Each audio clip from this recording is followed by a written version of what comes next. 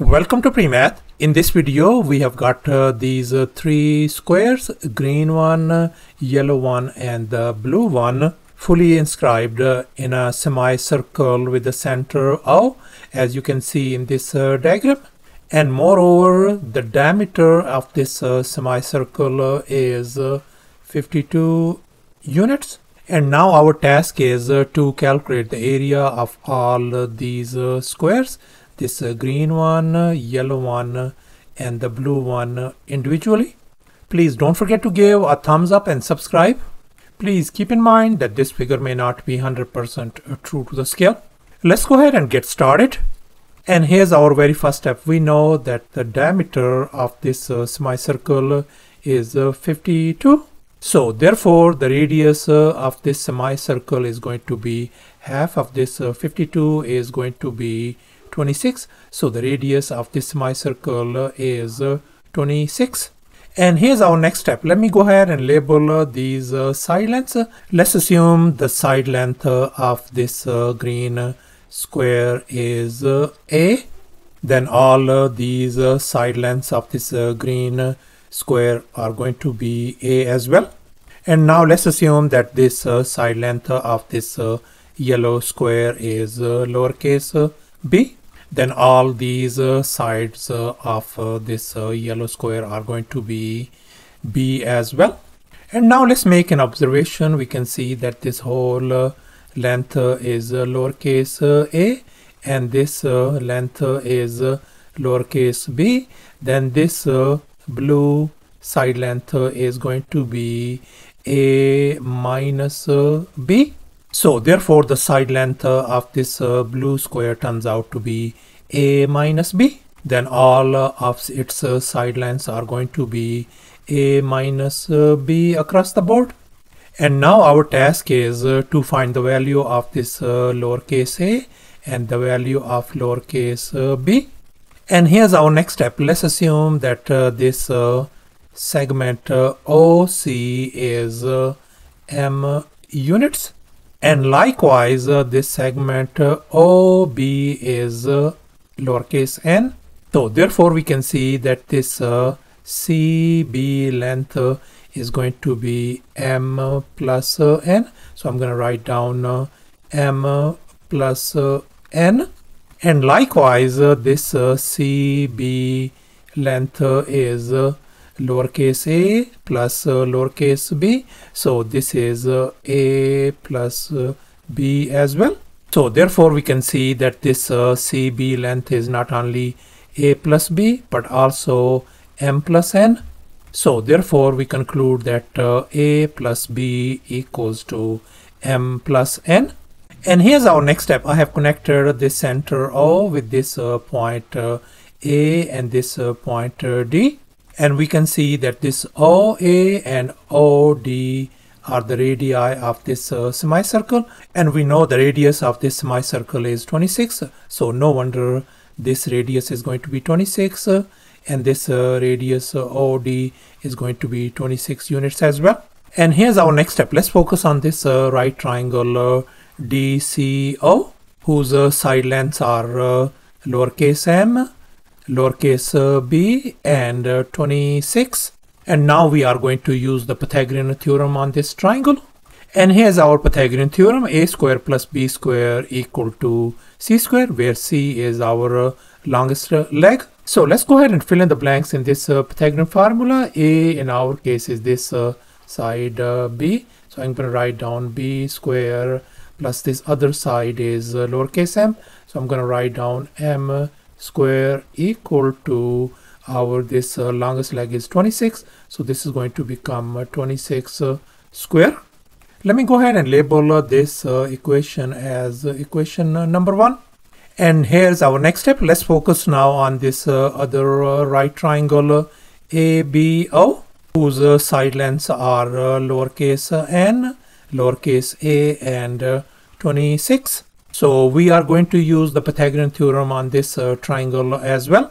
So let's go ahead and fill in the blanks in this uh, Pythagorean formula. a square plus b square equal to c square where c is our longest leg.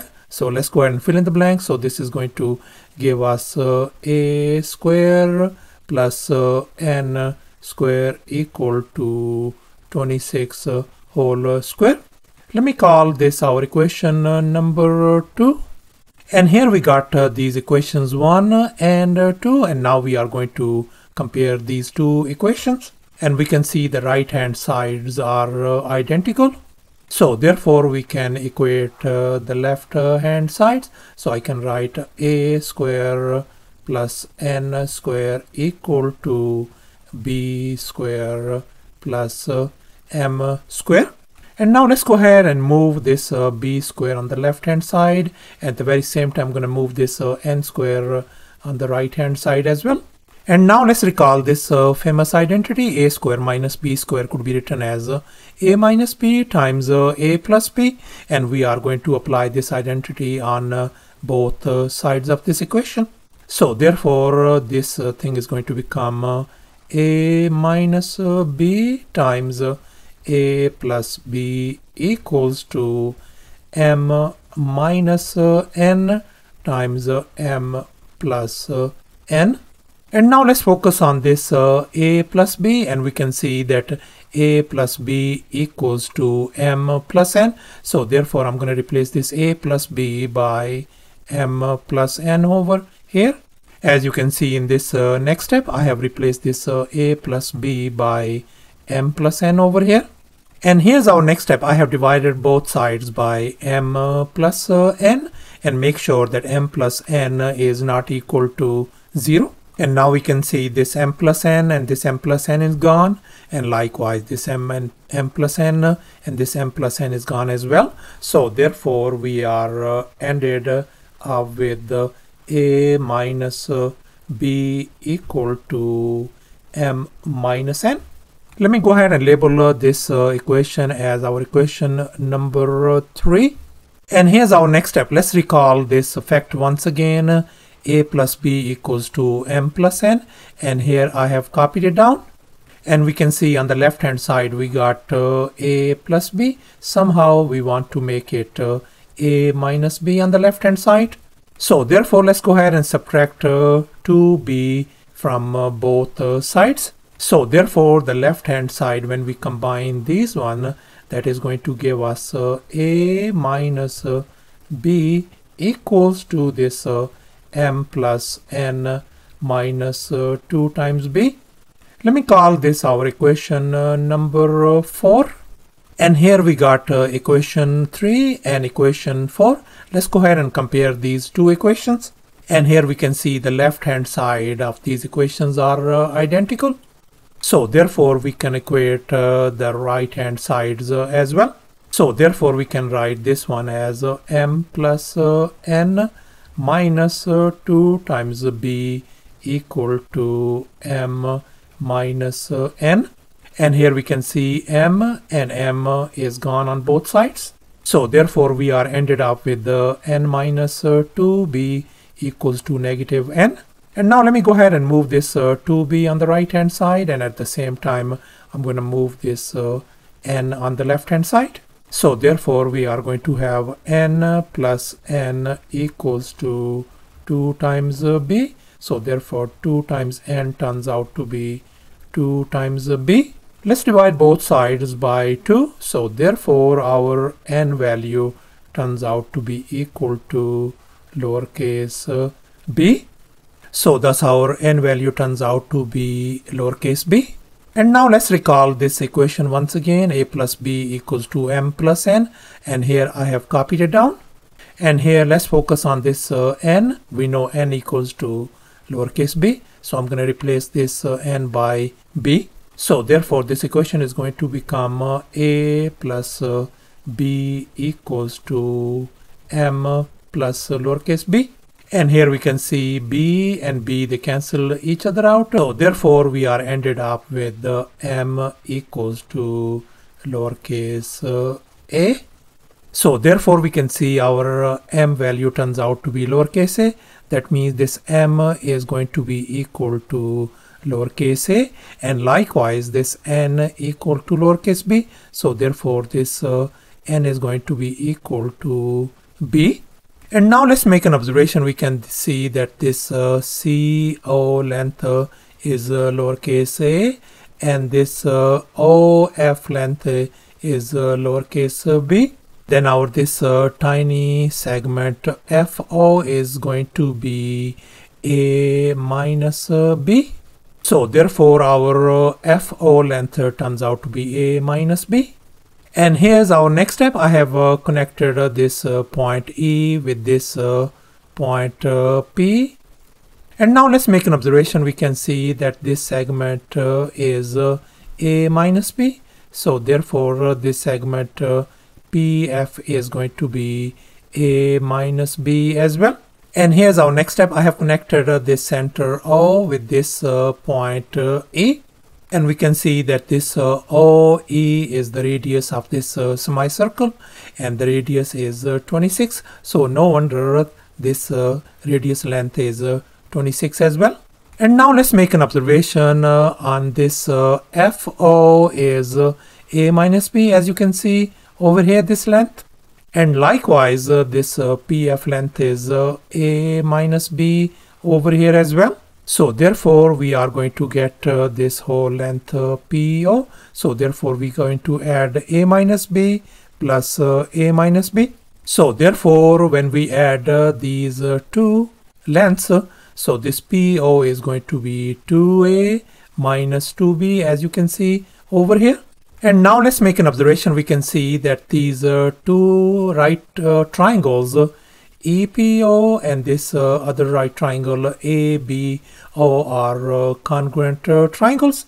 Since this side length is lowercase a and this side length is lowercase a as well.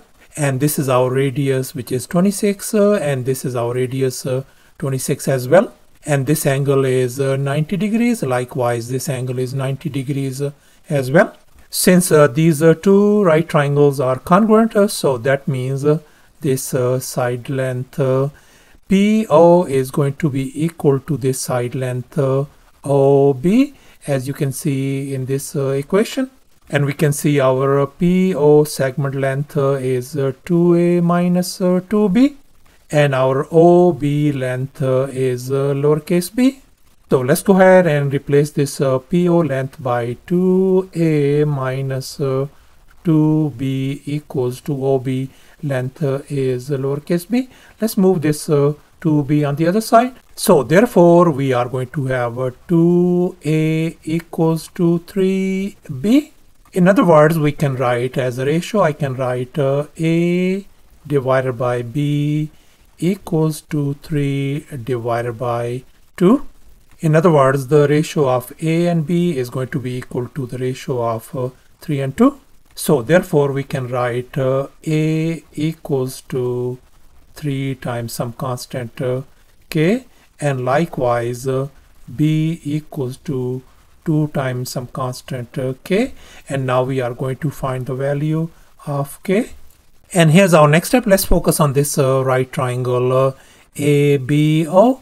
Its side length uh, is uh, A and we know A equals to 3 times K. So I'm going to replace this side by 3 times K. And likewise, uh, this other side length is lowercase b and lowercase b equals to 2k. So I'm going to replace this side by 2k.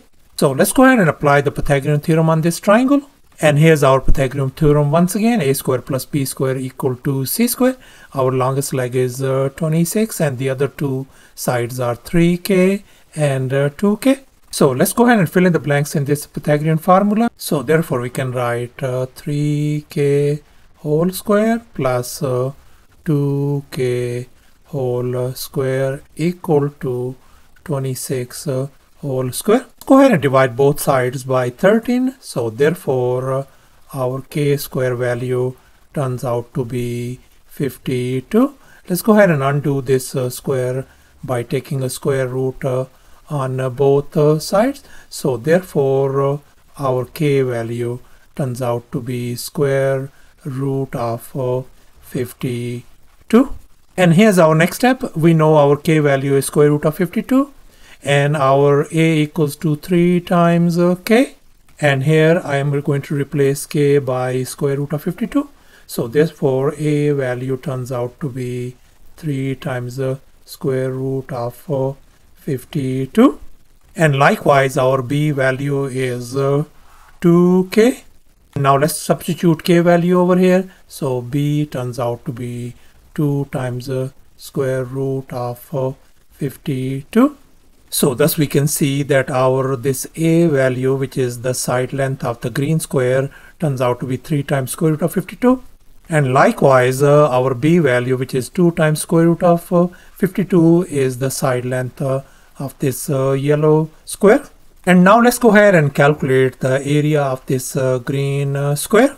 And now let's recall the area of a square formula area equal to s square where s is the side length of the square and in our case our green square side length is 3 times square root of 52 so therefore the green uh, square area is going to be 3 times the square root of 52 whole uh, square. And if we simplify the right hand side that is going to give us uh, 468.